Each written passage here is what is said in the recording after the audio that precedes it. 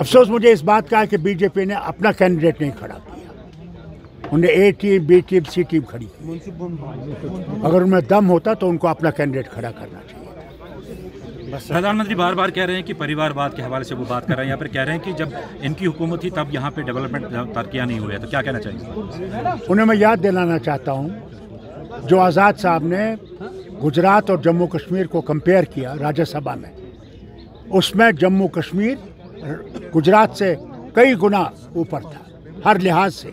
वो कैसे हुआ? कैसे हुआ? क्या आसमान से आया? वो तो यहाँ के हुकूमतों ने किया। इस रियासत ने तरक्की की। आज आप देखिए पहाड़ के कोने पे भी आप देखेंगे वहाँ पे बड़ी बड़ी तालीम लेके लोग हैं। कितने डॉक्टर हैं इंजीनियर हैं। एग्रीकल्चरल टॉप लोग हैं।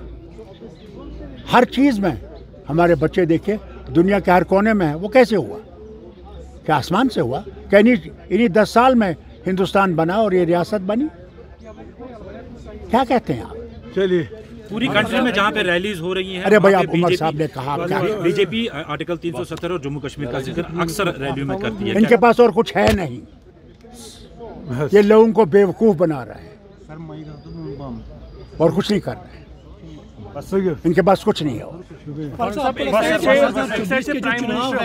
ये 2019 से बिल्कुल डिफरेंट होंगे I am very happy that they are campaigning. आपके लिए I am glad they are happy coming, and they will people will give them a sounding defeat. साहब आप मानते हैं कि 2024 के लोकसभा के चुनाव 2019 से बिल्कुल डिफरेंट होंगे अब अल्लाह जानता है मेरे पास कोई तिलस्मी चिराग तो है नहीं कि मैं जिन को निकालूं और कहूँ बताओ क्या होगा क्या पता? सारा इलेक्शन कमीशन तो इन्हीं का है। खुद बनाया है इन दो ने। कहाँ है इलेक्शन कमीशन उसकी सेंटिटी कहाँ है? Thank you